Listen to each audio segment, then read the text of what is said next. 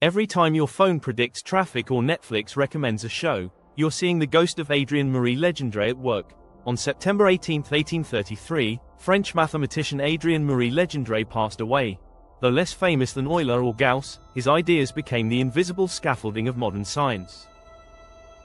Legendre tackled one of the hardest problems, how to find order in messy data.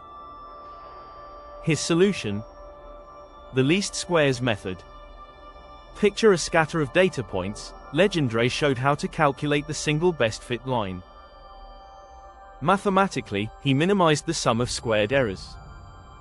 Simple, elegant, and still unbeatable today. That method now powers everything from weather forecasts to AI algorithms. But Legendre didn't stop there. His Legendre polynomials, a family of elegant functions, help physicists describe planetary orbits, gravitational fields, and even electron behavior in quantum mechanics. His fingerprints are hidden inside every model of the natural world. Fun fact, Gauss later claimed he'd invented least squares first, sparking a legendary math rivalry. So next time your GPS predicts your route, thank Legendre, the quiet genius who died this day in 1833. Follow for more science history.